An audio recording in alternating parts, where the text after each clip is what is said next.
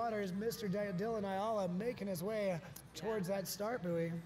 Dylan, 18 years old from Gilbert, Arizona, and his best tricks is the big, uh, big spin. So we'll see if he does that here today.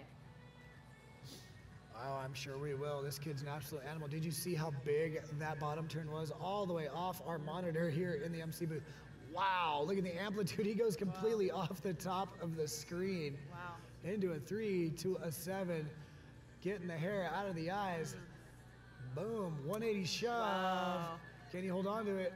Behind us over in Eden, we've got Powder Mountain beautiful area, and here goes Dylan. That's right, Dylan's back up and going, coming up to that three-quarter mark. He's loading up in the back.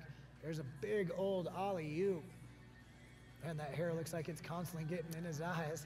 He's got his own style Couldn't there. even read it yesterday. He had to read the LCD screen next yes. to us.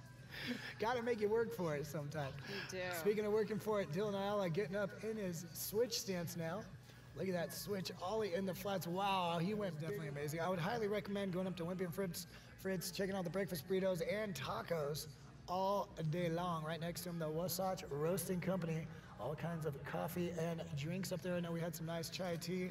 Right now, we've got Dylan making his way back back down the course. Look at that huge aired frontside 180. Wow. Here he comes past the two thirds mark, setting up big. Wow, look at the amplitude on that air right there. Some of the biggest in the business. There's the one.